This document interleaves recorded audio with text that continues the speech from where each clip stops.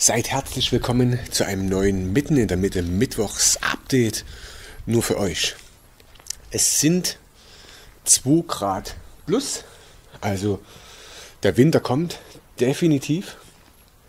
Deswegen habe ich mich heute mal angepasst dem Wetter. Jacke, Pullover, alles was man braucht, damit man hier draußen nicht erfriert. Heute machen wir die Vorderachse vom Audi A6 fertig und die Servopumpe wird getauscht. Und anschließend, wenn wir damit fertig sind, soll der Schrottgolf hier hinten noch auf den Hänger, also auf Chris seinen Hänger, damit er den dann wegbringen kann und wenigstens sein Spritgeld wieder rein hat. Ich bin so ein super Typ. Ich freue mich, dass ihr alle wieder dabei seid. Schmeißt jetzt den Algorithmus-Link. Denk nach deinem Kopf an, weißt Schmeißt jetzt doch den äh, Algorithmus-Smiley in die Kommentare und nach dem Intro geht's los. Was ist denn Putzi? Was geht denn ab bei dir? Alles, was nicht fest ist. Der Hof steht voll. Der Hof, der Hof steht gar nicht voll. Der Hof ist leer. Die Wiese steht voll. So, wir fangen jetzt an. Schroten hier die Achse auseinander. Teil 2. Teil 2, genau. Der ist nicht neu, dafür aber gut gebraucht. 30 Euro investiert. Einmal die komplette Achse vorne neu. Zumindest fahrbar neu. Ich sehe gerade meinen Nebelscheinwerfer. Ah ja, ist auch so ein Milchglas. Egal, die gehen ja eh nicht. Ja. Äh, ich, es tut mir leid, mein Audi hat auf jeden Fall vorne ein bisschen mehr gekleckert. Das könnte vom Ölauffüllen sein. Ja, ja, bin's gewöhnt. Du ich fahre jetzt immer durch auf die Wiese. Ja, genau. Dann drehe ich hier meine Runden. Herzlich willkommen im Mitten in der Mitte Mittwochs Update nur für euch.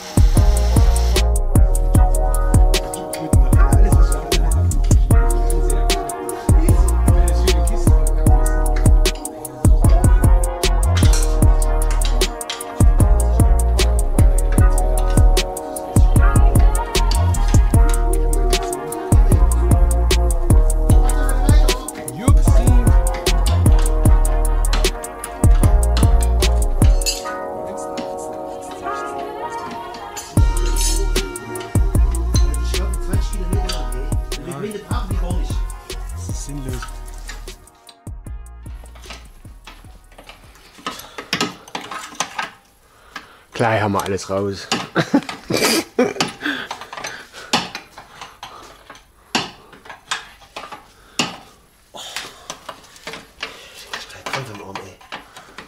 Soll ich weitermachen?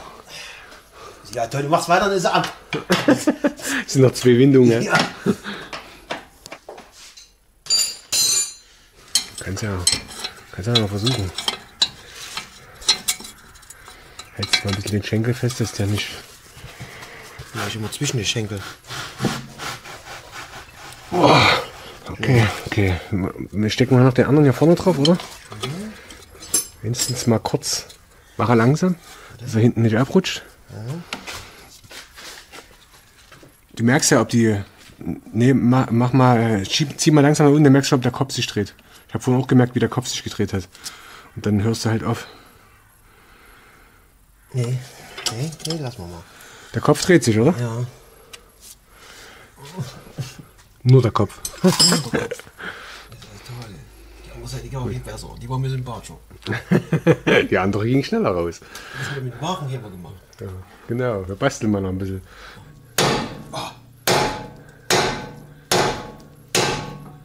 Gut.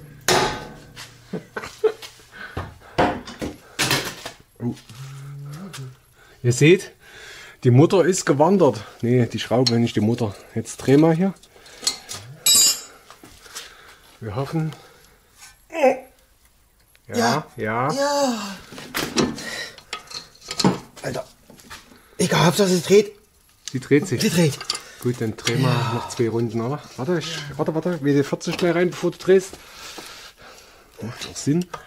Immer schön anschließen. Ah, oh ja, das klingt gut.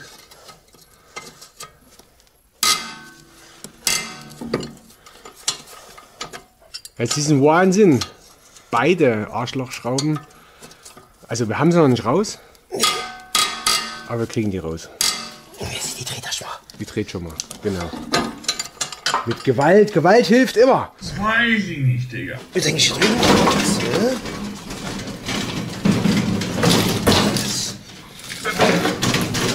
Achtung. So. Lass mal wieder runter.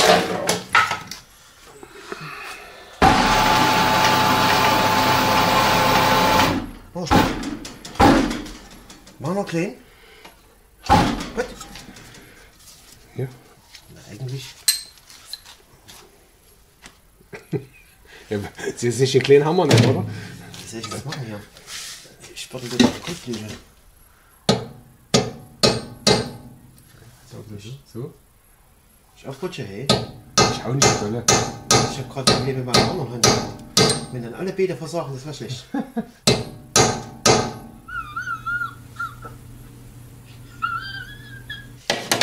Hau, da drauf jetzt. Ja, ja, viel haben wir nicht mehr. Ja, ich weiß, ist egal. Jetzt sind wir bündig. Jetzt sind wir bündig. So. Jetzt nehmen wir eine kurze Stange. Also eine andere Schraube. Jetzt, Das kannst du vergessen. Das ist viel zu fest. Jetzt versuchen zu drehen. Da drehen kannst du, aber deswegen kommt die da nicht raus. Die muss raus. Da sind wir ja morgen noch dabei. Die kriegt ein neues Zuhause. Hier. Hast du die nicht hier? Ich weiß aber auch nicht, wo ich meinen Kopf hinhalten soll. Ja, ich weiß, es ist beschissen.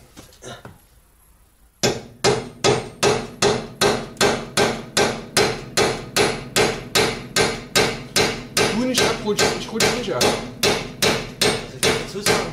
Ob direkt in. Ich bin jetzt gerade nicht reingegangen. Oh, oh, das liegt. Warte, mir ist Taschen wieder. Ist Ja, ja. wieder.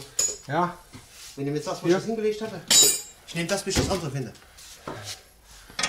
So, jetzt habe ich es ein nämlich. bisschen schräg. Jetzt habe ich das ein bisschen schräg. Ich gucke aber nicht hin. Ich habe Angst. Genau. Ich mache das nämlich immer im Dunkeln. Ich habe geübt, Du musst halt, das Blöde ist bei dem, wackelt es irgendwo. Weißt du? weil es zu lang ist.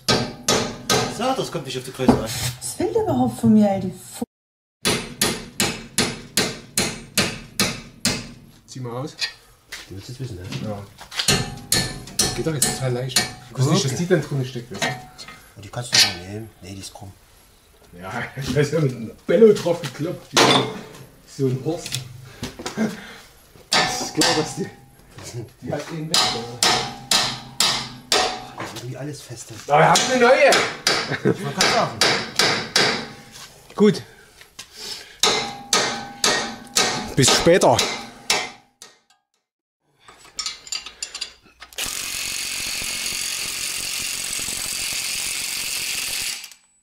Fertig. Lief ja fast alles wie geplant. Stunden später. Wir haben eine komplett neue Vorderachse. Sehr schön. Bremsscheibe ist komplett voll versüfft, ey. Ich muss nach Bremsenreiniger gucken. Gut, dann Rad dran runter mit der Karre. Ach ja? Was das Papier ab, ja? Ich hab was gefunden. Das gute Papier. So, Fahrwerk ist abgeschlossen. Also, die Achsen. Die Achse vorne ist wieder komplett tutti frutti und jetzt steht der Audi hier schön auf Winterreifen. Ganz tolle 16 Zoll. Absolut hässlich. Aber egal. Die guten Felgen werden eingelagert. Und die beschissenen sind die Standfelgen. Für mehr sind die eh nicht zu gebrauchen. Das Profil ist nicht mehr der Hit. Und fahren tun sie sich auch scheiße. Könnt ihr gerne mal was in die Kommentare schreiben. So mein super 16 Zoll Felgen. Was macht denn der Nachbar hier? Holz, Junge. Machst du Holz? Der holzt. Da hinten wird geholzt. Willkommen in Totero im Video. Was hilft denn jetzt bei dem Wetter? Irgendein Arzneimittel? Haben Sie irgendwie so einen Haushaltstipp? Ach so, ich nehme gar keine Arznei. Was nehmen Sie? Bier in Masse. So, jetzt tauschen wir noch die Servopumpe.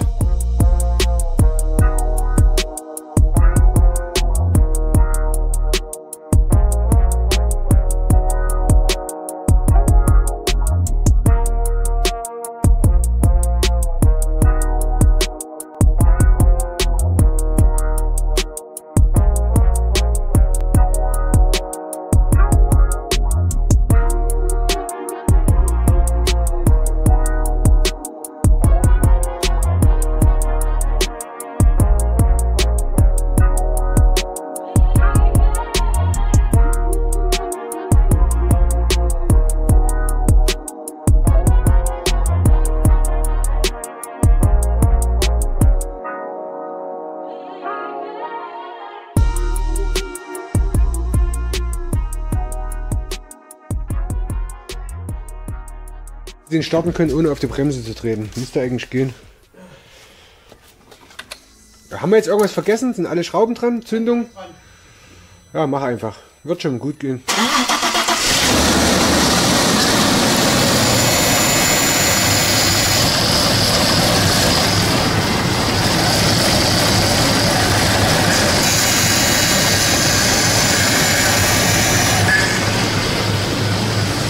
Klingt gut, oder? Also bis jetzt zumindest.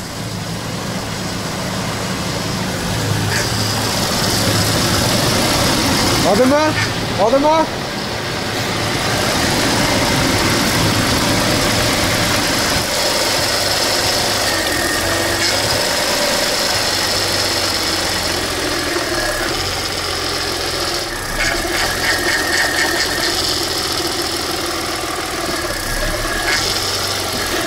Denke, das war's.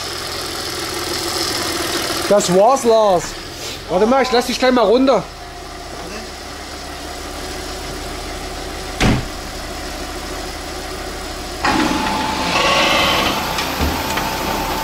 Mach nochmal. Geil. Na, wenigstens was. Yo, yo, yo, man! Also Servo-Pumpe funktioniert. Keine hässlichen Geräusche mehr. Sehr geil. Ja. Also Audi haben wir geschafft heute.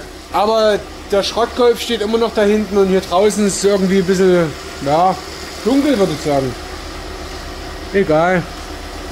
Mach aus die Kiste.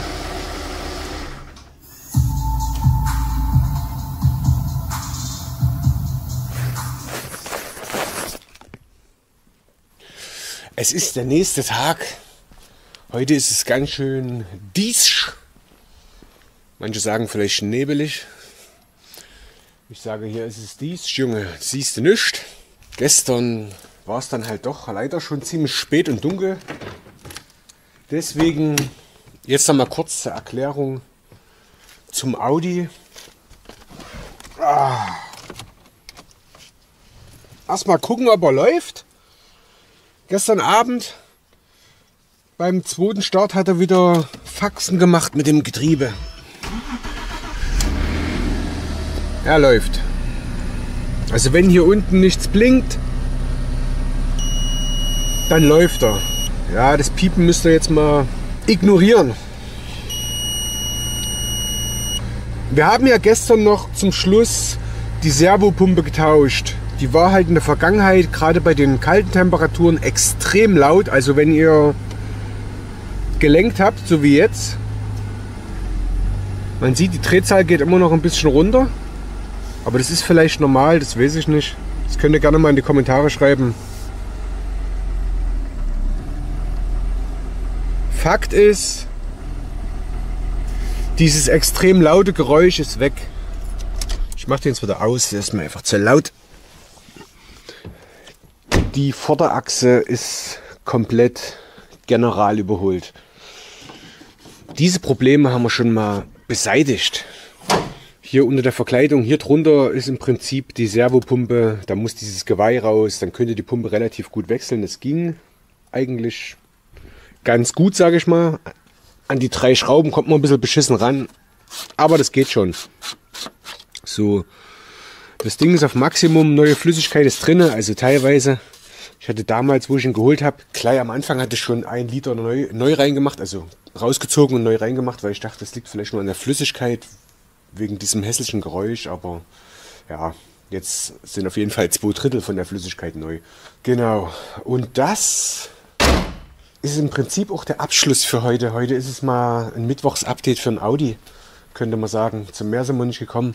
Die Mängel, die wir jetzt noch haben, beziehen sich eigentlich nur noch auf das Getriebe. Ich würde demnächst jetzt das Getriebeöl rausholen und neues reinmachen. Dann schließe ich im Prinzip noch die Sensorik an für den Bremsverschleiß vorne, da ich noch zwei Stecker mit Kabel jetzt habe. Dann sollte es im Fahrzeug nicht mehr ganz so oft piepen. Und die Motorkontrollleuchte ist an. Wegen Lambda-Sonde, glaube ich. Müssen wir mal gucken. Also mal schauen, demnächst, äh, wenn es wieder ein Mittwochs-Update-Video gibt und ich mache was am Audi, halte ich euch auf dem Laufenden. Dann lese ich den aus. Das Lesegerät ist bei mir auf Arbeit, deswegen kann ich ihn jetzt nicht auslesen. Und dann gucke ich mal, ob der Fehler mit dem Getriebe noch drin steht. Also ob ich den nochmal finde oder kriege. Weil ich hatte, glaube ich, ein einziges Mal einen Getriebefehler drin und dann nie wieder. Und vielleicht kann mir da jemand von euch noch helfen, wie ich jetzt hier weitermachen soll, damit ich vielleicht am Ende des Tages den Audi doch behalte. Weil vielleicht dann doch irgendwann mal alles funktioniert. Mal schauen. Also wie gesagt, ich habe noch eine schwarze Ausstattung. Ich habe ein Ersatzgetriebe, was 150.000 Kilometer runter hat. Die Sensoren für die Bremse vorne. Also das Kabel mit dem Stecker, was dann im Prinzip an den, an den Belag angeklemmt wird, weil die mir hier einfach irgendwie die Kabel abgeschnitten haben. Also wo ich ihn damals getauscht habe, waren die Kabel halt abgeschnitten. Ja, und dann könnte man auch noch Geld in eine Lambda-Sonde investieren. Und dann müssten ja eigentlich alle Fehler weg sein. Mal schauen. Schreibt eure Meinung einfach in die Kommentare zu diesem ganz tollen Audi A6 mit Gasanlage, die man nur halb voll betanken kann. Ja, ansonsten wünsche ich euch einen wunderschönen Tag, ein wunderschönes Wochenende und wir sehen uns bis später. Peace.